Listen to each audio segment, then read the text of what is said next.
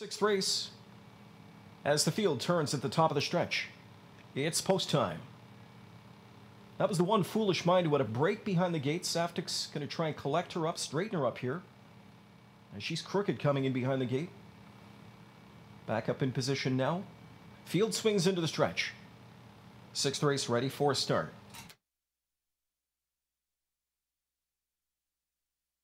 They're often pacing Ruby's Prescott from the far outside. Look at her snap off the gate. Ruby's Prescott charging quickly. She'll lead with bullet point from the inside, but nobody could match the early speed of Ruby's Prescott. McDonnell wasting no time and putting her right up on the lead. Into the pocket spot from in second is Bullet Point. Sitting third is Foolish Mind. Then racing along fourth is I Got to Boogie.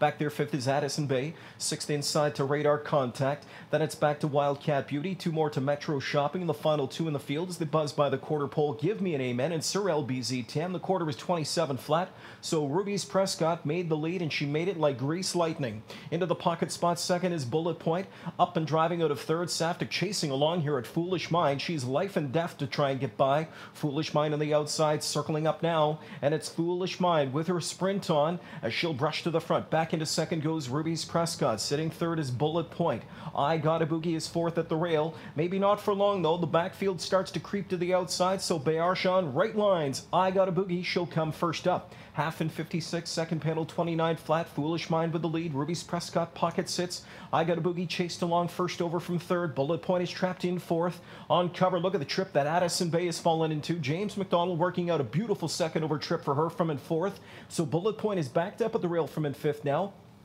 Radar contact is on cover times two as she rides the outside flow, sixth out there. Four off the lead at three quarters and 125, and they turn home. I Got a Boogie takes over the lead from Foolish Mind. Here off cover comes Addison Bay. Tripping out at the rail, Ruby's Prescott finds late racetrack. Bullet Point will try and do the same. Radar contact rolling late on the outside. There in deep stretch. I Got a Boogie feels the pressure late from Addison Bay. Here's Radar contact, whale wide, Wildcat Beauty. It's Addison Bay to the front. Addison Bay tries to fend them off. Addison Bay in front. Addison Bay to win in 152 and 4.